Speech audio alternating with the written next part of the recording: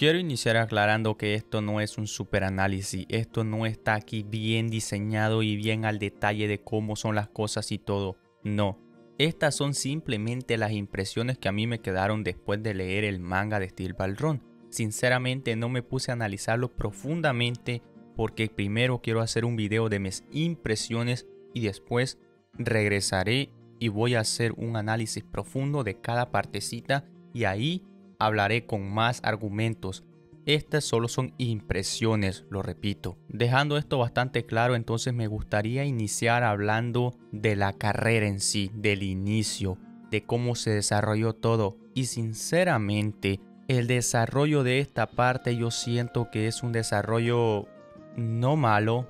No creo que es una carrera o un desarrollo de la trama mala, pero tampoco creo que es la gran locura. Tampoco creo que es aquí Uf, espectacular todo lo que pasó, cómo se desarrolló la trama de inicio a casi el final. Y cuando yo hablo del desarrollo, estoy hablando de lo que pasó desde el inicio hasta antes de llegar al arco final.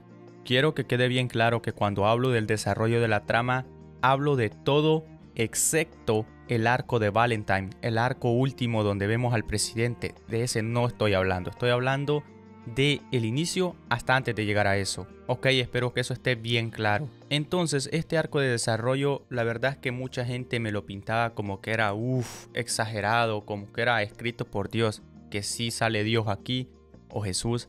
Pero la verdad es que este arco a mí me ha gustado, me ha entretenido sinceramente, pero no me pareció la gran cosa, no me pareció a mí que yo hubiese dicho, uff, qué increíble, qué, qué fuera de serie. Sí, está bueno, pero creo que hay otras partes de Yoyo que a mi opinión se me hacen mejores en el desarrollo. Y entiendo también que esto sea subjetivo, pero por ejemplo a mí me gustó mucho más el desarrollo de la trama de Stone Ocean o de Golden Wing.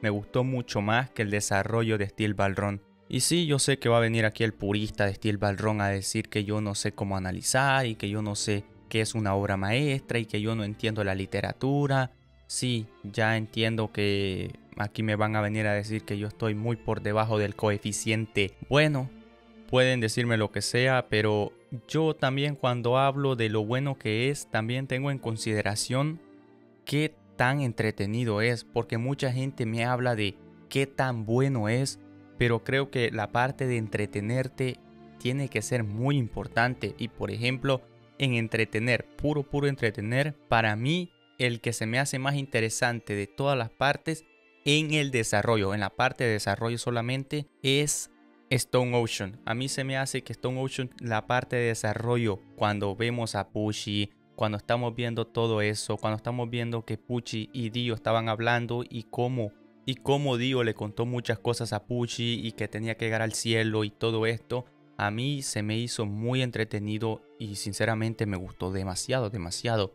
Hay otras partes que a lo mejor tienen villanos más poderosos en el tema de desarrollo o villanos más complicados o tienes que pensarle más. Sí, pero la parte de desarrollo Steel Ballroom no me parece la mejor, lo vuelvo a decir. Y lo voy a repetir otra vez, cuando yo digo desarrollo hablo de todo menos el arco final. Por ejemplo, el desarrollo de la parte 3, yo estoy hablando de todo el viaje que hicieron antes de empezar a pelear con Dio así en todas las partes. Estoy simplemente hablando de qué hicieron, qué tuvieron que llegar a hacer antes de llegar a pelear con el villano final. Así que esto del desarrollo de la carrera a mí se me hace bastante bueno y bastante entretenido, pero sinceramente hay mejores, hay mejores. Y recalco esto y quiero ir recalcando cuando me parece que Steel Ballroom es mejor o es peor por el hecho de que antes de que yo me empezara a leer Steel Ballroom la gente me pintaba Steel Ballroom como si fuera la octava maravilla del mundo. Me pintaba Steel Ballroom como que yo iba a empezar a leer este manga y me iba a cambiar la vida. Y bueno, está bueno, pero tampoco nos pasemos tanto, ¿eh? Que la gente como lo hypea, como dice que es lo mejor de lo mejor de todo yo-yo, puede ser en algunas partes, pero la parte completa para mí Sinceramente creo que Steel Barrón está sobrevalorado. Está sobrevalorado en unas partes. No creo que sea lo mejor. Creo que es muy bueno. Pero el mejor es difícil. yo creo que se tiene que debatir. También tomando en consideración que yo no me he leído la parte 8, no me he leído Yoyoleón creo que se llama, no estoy seguro, pero la parte 8 no me la he leído. Y entonces quiero hablar de algo de lo que Steel Ballroom sí creo que es el mejor. Creo que Steel Ballroom tiene al mejor Jojo Bro. Creo que Jairo es el mejor Jojo Bro de todos. Creo que no se le compara a nadie. Nadie, ni Bucharati, ni Polnareff, absolutamente nadie. Creo que Jairo, sinceramente, es el mejor Jojo Bro de toda la franquicia que yo he leído, por lo menos. Me parece que Jairo es espectacular. Sinceramente me gusta Jairo. Me parece que la historia que tiene de que está ganando esa carrera, de que quiere ganar esa carrera, es por salvar a un niño, a mí me gusta. Me gusta, me gusta que sea tan noble y me gusta su historia de cómo él tenía que ejecutar a personas y dijo, no, yo no quiero ejecutar a este niño, yo no lo quiero ejecutar y quiero hacer algo para salvarlo. Y fue a hacer esa carrera para salvar al niño y está haciendo todo por un niño que todos saben que es inocente y que literalmente él, aunque sepa eso, simplemente lo podría matar y decir, ¿sabes qué? Lo mato y no me tengo que esforzar tanto. Pero no, Jairo está haciendo la carrera más larga de la vida entera por salvar a un niño, por seguir sus valores. Y es algo que a mí me gusta y me parece bastante noble. Y me parece que cuando yo leí eso, cuando yo leí eso, yo dije, quiero que Jairo gane. Ya entiendo por qué quiere ganar tanto. Quiero que este vato gane. Cuando leí la historia quería que ganara Jairo 100%. Ya no, ya no me importaba Johnny, ya quería que Jairo ganaba. Y hablando de Johnny, Johnny me parece bueno. Me parece bastante bueno Johnny. Pero sinceramente no sé qué le faltó. No sé si el hecho de que Jairo tenga demasiada personalidad, de que Jairo sea tan buena, opacó un poco a Johnny. Pero Johnny no me pareció el protagonista si yo tuviera que decir que fue el protagonista, esta vez no fue un yoyo. Yo, yo creo que fue Jairo esta vez. Porque para mí cuando Jairo estaba vivo, cuando Jairo estuvo vivo, el protagonismo para Jairo era 55 y el de Johnny era 45. Johnny no me terminaba de convencer como protagonista. No porque no fuera tan bueno y que no tuviera una historia así interesante, que sí me gustó su historia, sino por el hecho de que en casi toda la historia Johnny era bastante más débil que Jairo. Y además de ser más débil, también le pasaba que Jairo era demasiado, demasiado más inteligente que Johnny. Y Jairo tenía mucha más sabiduría que Johnny. Así que prácticamente Jairo lo superaba en todo. Le superaba en carisma, en mejor diseño, en más poderoso, en casi todo, en sabiduría, lo superaba en prácticamente todos los aspectos. Y pues cuando yo lo miraba a los dos, yo miraba a Jairo como el maestro y a Johnny como el estudiante. Y pues sí, claro que no tiene nada de malo esto, no tiene absolutamente nada de malo. Pero el hecho es que el Jojo Bro era más importante que el Jojo en casi el 80-90% de todo el manga. Lo cual, lo repito, no está malo, no está malo, pero el supuesto protagonista no fue 100% protagonista en, toda la escena. Es decir, como por ejemplo Jolene fue protagonista en 80-90% del tiempo. O Yotaro en la parte 3 fue 70-65% protagonista de toda la serie. Y así sucesivamente. Cada yoyo ha tenido su parte y él ha sido el protagonista casi todo el tiempo, pero en esta parte fue un poco diferente y para mí no está malo, pero creo que sí quedó a deber Johnny. Y bueno, a lo mejor un purista de Steel Ballroom me va a venir a decir que eso es lo bueno de este manga, que el yoyo no es el protagonista y que eso le da un valor intrínseco y que eso lo hace demasiado bueno. Me puedes decir muchas cosas y te las puedo valer sinceramente. Creo que los argumentos aquí son subjetivos, pero no sé, a mí yo siento que el protagonista quedó de ver un poco, como que le faltó un poco más, como que le faltó ese pedazo, ese paso que tú dices, ah, aquí está el protagonista. Creo que se dividieron bastante bien los roles, pero al final no me quedé con el sabor de Jairo es el protagonista o Johnny es el protagonista. Los dos eran protagonistas. Y eso está bueno o está malo, bueno, depende a quien le preguntes. A mí me gustó, pero no me pareció lo mejor, no me pareció aquí que tú digas, wow, qué sorprendente, qué, qué ingenio. Pues la verdad no. Otra cosa, hablando de tener dos protagonistas al mismo tiempo, la cantidad de personajes se me hizo bastante limitada esta vez. Creo que esta es la parte de Jojo donde yo siento que el cast de personajes enemigos, todos enemigos, aliados, el villano final, fue el más limitado de todos en cantidad. Creo que la cantidad fue bastante baja, la verdad no sé cuántos fue porque lo vuelvo a repetir, este no es un análisis profundo, este es unas primeras impresiones, pero la cantidad de, personajes se me hizo bastante poca y no está mal, pero por ejemplo algo que se me hacía bastante malo, algo que no me gustaba es que Happens, Happens llegaba justamente cuando Johnny y Jairo necesitaban ayuda, cuando necesitaban recuperarse y Hapan sacaba su spray, se los echaba, los salvaba y después se iba. Es como... Es demasiado conveniente que esta tipa, que no es amigo de ellos, viene, lo salva, les cura todas las heridas y se va y no dice nada. Y esto pasó como dos, tres o cuatro veces. La primera vez se me hizo que estuvo bien, pero después se me hizo como, mm, no sé, demasiado conveniente. Yo lo miraba y decía, mmm, no, muy, muy conveniente. Otra cosa diferente hubiese sido si ella se hubiese unido al grupo y ella estuviese ayudando a los dos, a Johnny y a Jairo, y ahora tendríamos a Happens. Pants, Pants. Si ella se hubiese unido al grupo, me hubiera parecido fantástico. Sinceramente, me hubiese parecido que es una gran adición porque siempre tiene que existir alguien en un grupo que los cure, como en muchas partes de Yoyo. Y me hubiese parecido bueno, lo vuelvo a repetir, pero ella no era amigo de ellos. Ella no era amigo. Ella era una semi-aliada, porque no era ni aliada. Ella quería robar el cuerpo también. Así que esto me pareció demasiado conveniente y hay otras cosas que no me gustan para nada. Pero una de las cosas que me gustó bastante fue la idea de que en esta parte los yoyos o Johnny el yoyo tenía que encontrar las partes de Jesucristo. A mí esto sí se me hizo bastante ingenioso y sí se me hizo de que no mames, esto va a estar espectacular, esto va a tener una historia bastante chingona. Y me decepcionó. Yo esperaba, sinceramente, que Jesús, Dios, como le quieras decir, la verdad que yo no tengo ni idea, Esperaba que nos dieran una historia así súper completa y que nos dieran algo así espectacular, pero no, en todo el manga simplemente nos dijeron que él murió y que revivió y que ya, eso es todo.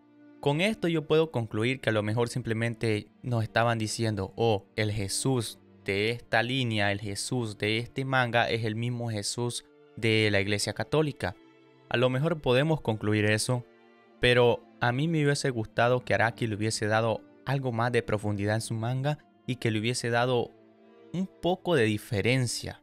No porque yo soy un purista de la religión católica, porque ni me interesa, o sea, no me interesa la religión, pero creo que se fue con algo bastante simple en este tema, cuando el cuerpo de Jesucristo fue lo más importante de toda esta parte y no le dio prácticamente nada de explicación en el manga, simplemente nos dijo, asuman que la historia del Jesucristo de este manga es la historia de la Iglesia Católica.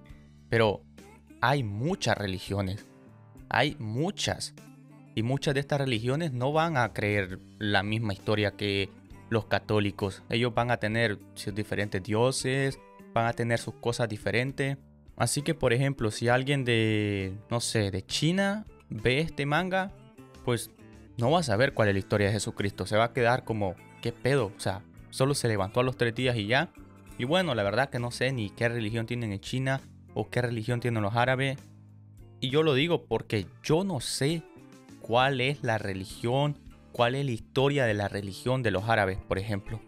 Yo sé que creen en Alá, creo que se dice Alá, pero yo no sé cuál es la historia, si es la misma de Jesús, o si en China es lo mismo, o si en India es lo mismo. O sea, a lo mejor ellos tienen religiones completamente diferentes y creen en Dios completamente diferente y tienen una historia completamente diferente. pero Araki asume que todos van a conocer la Iglesia Católica y su historia. Creo que aquí quedó por deber. La historia de Jesucristo tuvo que ser mucho, pero mucho mejor explicada. Si es que en el manga no se explica. Simplemente dice que revivió a los tres días. Punto. Creo que Araki le faltó aquí. Tuvo que explicarlo. Tuvo que haber explicado algo, aunque sea un poquito más. No sé, pero sí le faltó. Le faltó bastante información. No te pido que me hubiese resumido la Biblia entera, pero sí alguna parte, sí, sí. Mostrame algo, contame cosas, no simplemente vamos a asumir que es el de la Iglesia Católica. Bueno, después de dar mis impresiones del desarrollo de Steel Ballroom, creo que es buen momento de empezar a hablar del arco del presidente, del arco de D4C, del arco de Dory Deeds Don Chip, que este arco es uno de los mejores de todo Yoyo. Sí, claro que sí, claro que sí. Claro que sí, yo sé que al inicio dije que estaba sobrevalorada y a lo mejor mucha gente se salió y dijo, qué pendejo, no sabe nada. Pero ahora hablemos de lo bueno, hablemos de Dory D. Chip. O le voy a decir D4, simplemente le voy a decir D4 a todo este arco. Bueno, tengo que empezar diciendo que al inicio me dejó loquísimo, pero loquísimo con el tema de quién le disparó a Johnny. La verdad que no estaba entendiendo nada y ahora mismo no estoy ni seguro si le entendí. Les voy a decir lo que yo creo que es la explicación de D4, que cómo funciona. Yo creo que este vato, que este stand, puede hacer que universos paralelos, universos similares estén en el mismo, a la misma vez. ¿Me di a entender? ¿Me di a entender? Mi explicación es que tenemos universo A, B, C y D. Bueno, B, C y D pueden existir adentro del A y todos los universos paralelos pueden ocurrir al mismo tiempo. Esto creo que como funciona, para mí así funciona y para mí esta es la lógica que tiene. Por eso a Johnny le disparó tanto Dio como Huacapico, Huacapica y el presidente, los tres le dispararon al mismo tiempo. Los tres le dispararon al mismo tiempo, o eso es lo que yo tengo entendido, y me parece que eso es lo que dicen en el manga. Lo vuelvo a repetir, son primeras impresiones. Este stand se me hace el más, más complicado, más raro, más horrible de toda la historia de Yoyo. Se me hace que no tiene ni sentido. ¿Qué chingados es esta mierda? Sinceramente, cuando mostraron el stand por primera vez, me dejó loquísimo. No sabía qué pensar. No sabía si pensar que esto estaba demasiado roto. O... La verdad es que no sé. Y esto de estar roto, creo que se me quedó en la cabeza para siempre. Y algo que no me gustó es que este stand exactamente en todo Steel Balrón solo podía ser destruido, solo podía ser vencido por Johnny y Jairo. Porque lo que pasaba que para poder golpear a Defor tenían que tirar algo con una gravedad infinita para poder golpearlo y los únicos dos que podían hacer esto eran Johnny y Jairo. Demasiado, demasiado, demasiado, demasiado conveniente. Sinceramente esto no me gustó, me pareció que fue exageradamente conveniente que los protagonistas fueran los únicos que le podían ganar a Valentine. Me parece que Valentine también tiene cosas muy muy raras. Primero su stand es súper poderoso, sí. Pero quiero regresar un poquito y hablar de qué chingados pasó con el cuerpo de Valentine. ¿Por qué primero aquí era un glotón, estaba gordísimo y de un manga a otro se puso súper mamado, súper flaco, súper chingón? No entendí. Sinceramente no entendí. Y a lo mejor alguien, por favor, ayúdeme en los comentarios y dígame, hey, estás pendejo, esto lo explicaron en el manga tal.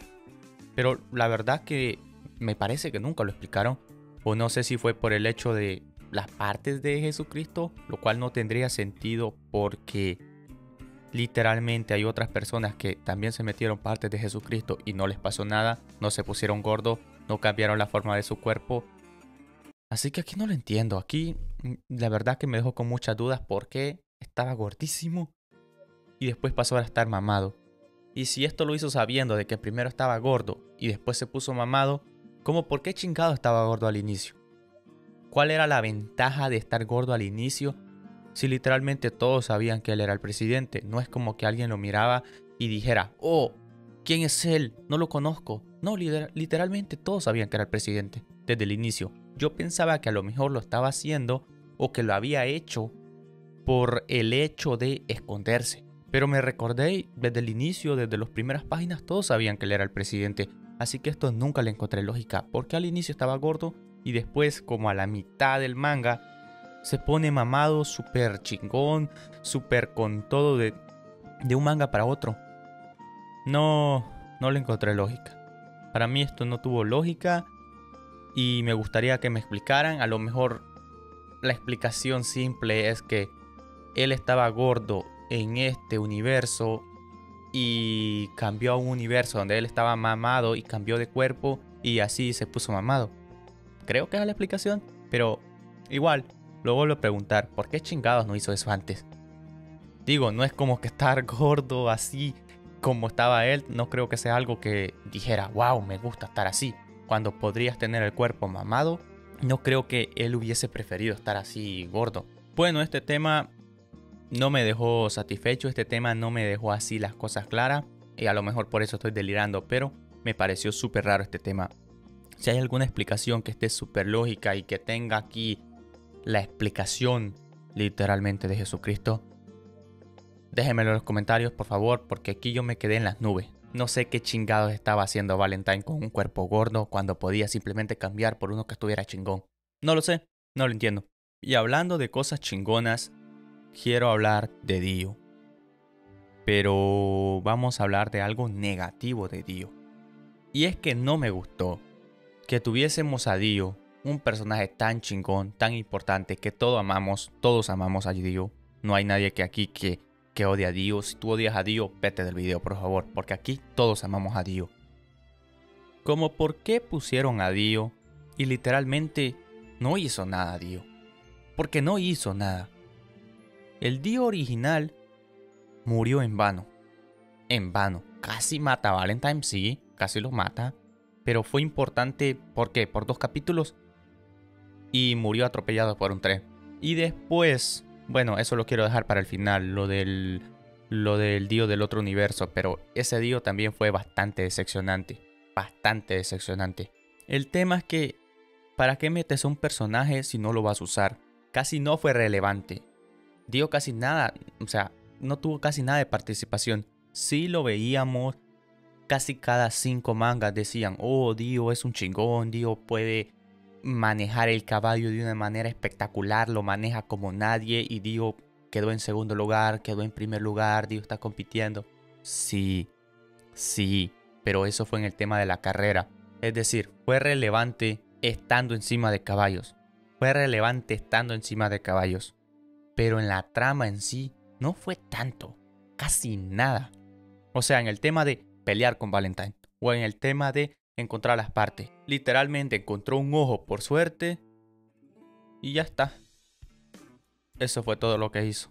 Me pareció bastante patético la participación de Dio. ¿Y por qué? Por ejemplo, vimos a Abdul y literalmente Araki dijo, este vato no va a hacer nada, no lo quiero meter aquí, no va a ser relevante, mejor lo saco. Y lo sacó como en el capítulo, en el manga 3 o 4, ya ni me acuerdo, pero lo, lo sacó en los primeros mangas, al inicio de la carrera. Dijo, no sirve, no lo quiero meter, no le quiero dar nada de protagonismo a Abdul, mejor lo saco. Y sinceramente me parece bien, me parece bien que si no le vas a dar protagonismo a alguien que ha sido importante antes, mejor no lo metas. Mejor no lo metas. Bueno, ahora sí hablemos de la batalla final, final, final. Jairo y Johnny contra Valentine. A ver, bueno, primero me quiero repetir de que solo Johnny y Jairo le podían ganar a, Valentine. Tal vez le ganaba a otro usuario, pero era demasiado complicado. Los que le podían hacer daño de verdad, de verdad, eran estos dos, los dos protagonistas. Se me hizo demasiado conveniente. Pero segundo, segundo, quiero decir que en sí la pelea a mí me encanta me fascinó, me mamó. Cuando estaba viendo esa pelea, cada maldita página la gozaba como si fuera la última. Literalmente de las mejores peleas que he visto. Es espectacular y fue increíble, increíble Y el hecho de que D4 sea tan raro, sea tan horrible, sus poderes sean tan complicados, hacía que fuera tan genial todo, la verdad.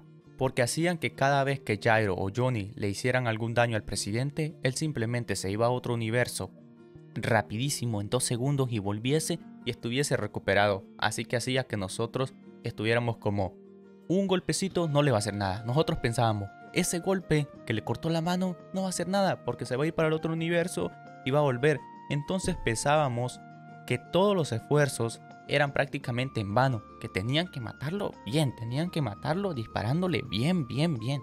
Y la muerte de Jairo fue de las cosas más espectaculares hecha en Yoyo, porque no creía que Jairo fuese a morir. Yo pensaba que Jairo iba a quedar vivo, era mi personaje favorito, me encantó. Y cuando lo matan, uff, cuando lo matan. Y lo que más me dolió fue que después, cuando Johnny le tira la bala infinita y le pega al presidente, y entonces el presidente ya está prácticamente vencido, regresa al universo original, al universo de base, y le dice a Johnny que él puede traer de vuelta a Jairo. Y en ese momento yo dije, no, no. En ese momento yo dije, 100% que lo está engañando, 100% que lo está engañando. Pero sinceramente, tenía, no 100%, tenía 99% de seguridad que lo estaba engañando, pero tenía 1% que decía, trae a Jairo de regreso, tráelo de regreso.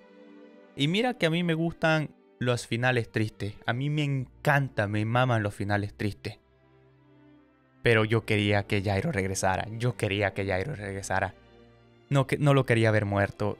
Y cuando el presidente nos da la explicación y nos da los argumentos de por qué él es bueno y nos dice que no mató a Steel. Yo dije, claro que sí, el presidente sí tiene palabra. El presidente sí nos mostró algunas cosas de que él sí tiene palabra, de que él sí tiene morales. Ojalá que cumpla. Tenía un por ciento de posibilidades y la verdad que como a Johnny, el presidente también a mí me estaba convenciendo. Me estaba convenciendo totalmente. Yo decía, por favor, que sea cierto. Si nos han mostrado algunas pruebas de que es verdad de que va a ser algo bueno. Y cuando Valentine le tira el spray a Johnny para que se lo eche al caballo y para que se recupere su mano, yo dije, le creo más, le creo un 50% ahora, le creo un 50%. Y la verdad que toda la historia del presidente de para persuadir a Johnny a mí me persuadió. A mí me persuadió. Yo dije, sí lo va a hacer. Sí lo va a hacer. Sí va a traer a Jairo de regreso sí lo va a hacer. Sinceramente, si yo hubiese estado en la posición de Johnny, sí lo hubiese creído. Y no, yo no soy tan inteligente como Johnny, que agarró una pistola que estaba ahí y se la tiró al presidente y sabía que dos pistolas que son la misma, pero de universos diferentes, no pueden existir en el mismo. Así que le la tira la pistola y le dice, recógela. Si tienes otra pistola escondida, va a pegar con ella y van a explotar, se va a deshacer. Y en ese momento Valentine se saca la pistola, Dios mío. En ese momento Valentine se saca la pistola y le dispara a Johnny le pega varias balas. Yo dije, no, hermano, ¿cómo puede ser? ¿Cómo puede ser? Yo sí le creía, yo en ese momento sí le creía. Y por suerte, Johnny no murió. Por mucha, mucha, mucha suerte, Johnny no murió y Johnny le terminó ganando al presidente. Me pareció un final espectacular la muerte de Valentine porque lo vuelvo a repetir, a mí me maman, a mí me fascinan los finales tristes y el hecho de que Valentine muriese eh, también nos está diciendo que Jairo también murió para siempre. Y a mí me puso muy triste que mi personaje favorito muriese. Me puso muy triste en ese momento. Pero... Sí, aquí fue donde la cagó. Aquí fue donde la cagó exageradamente Steel Ballron. La cagó. Que esta historia no se acabase con el presidente Valentine fue el peor error de todo yo-yo. No me gustó, para nada. Sí, obviamente yo quería que después Johnny terminara la carrera y ya. Pero que tuviésemos a Dio. Que tuviésemos a Dio otra vez fue tan innecesario. Fue tan innecesario. Vuelve Dio de otro universo y tiene a Saguardo. Y ese Dio, no, es, que es que esta historia para mí no, no, no tiene ya propósito, ya se acabó, ya el ganador es Johnny, ya ¿por qué tienes que meter a Dios? Sinceramente, fue en el momento que yo dije, no puede ser, ¿por qué metes a un personaje que literalmente ha sido el villano final tantas veces, ha sido importante tantas veces, y este final con la muerte del presidente fue tan buena, y no, no acaba con esta. Tenés que meter a Dio otra vez. Y la gente me dice, no, Araki odia a Dio. Araki ha dicho en entrevistas que él odia a Dio. Chupame la pija, chupame la pija. Literalmente Araki trae a Dio a casi todas las partes de Yoyo. En casi todas las partes de Yoyo es relevante, ya sea él el protagonista, el enemigo final digo, o ya sea el hijo, o ya sea sus hijos, o ya sea su plan. Casi en todas las partes Dio es determinante. Y me vas a decir que lo odia. Me vas a decir que lo odia. Chupate una pija, chupate una pija. Aquí es cuando yo digo que Araki está enamorado, enamorado de Dio.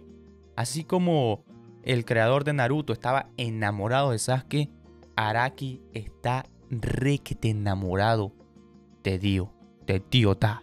Algo que me sorprendió y que me pareció hasta como muy conveniente fue que la primera vez que Dio usó su stand de parar el tiempo, literalmente Johnny dijo, ah, su habilidad es parar el tiempo.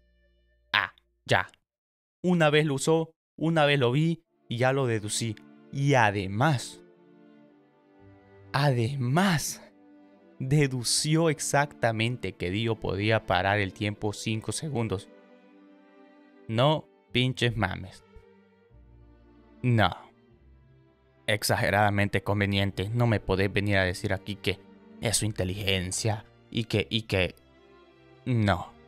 Te lo hubiese terminado comprando si Johnny hubiese dicho algo así como creo que para el tiempo entre 4 y 7 segundos, más o menos un estimado te lo hubiese valido. Pero Johnny literalmente dijo, creo que Dio puede parar el tiempo por ahí por unos 5 segundos.